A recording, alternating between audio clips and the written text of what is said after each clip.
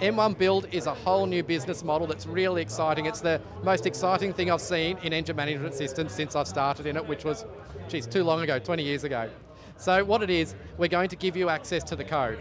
So if you need to write a specific module to make your car run, we're going to let you drop back into the programming code into a modularized system that'll let you make your own firmware up.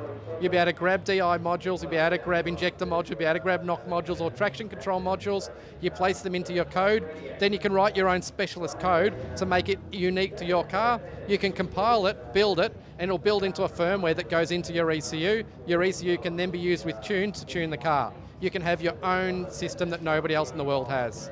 That sounds amazingly powerful. From a tuner's perspective, it also sounds quite scary. Is this opening you guys up for a, a, hell of a lot of technical support, trying to get people to get their ECUs to a point where they can even run an engine? The business model that we're looking at, what we're trying to do is make it so that people with the appropriate programming skills work hand in hand with a tuner who has the appropriate mechanical skills. So you've got a tuning shop and a guy's come in with a brand new BMW M5 V10 Di. So you've gone, all right, I reckon if I make an ECU to suit this car, I'll sell it all around the world. So you get you hire in a programmer, you tell the programmer, make the make the ECU do this. He writes the code for you, you then compile that code into your ECU, you run your BMW M5. Finally, you personally have a BMW M5 ECU that no one in the world has got. Motec don't own the code, you own the code. You can then go along, sell that BMW ECU you've just built to anyone in the world, and you may be the only one with an ECU that runs the BMW 5 anywhere in the world. There's your business model. You can sell hundreds a year around the world for this one car that you own all the code to. That's, that sounds like an interesting way of, of uh, producing new ECUs, and uh, obviously there's a lot of potential there for big markets across the world and new cars.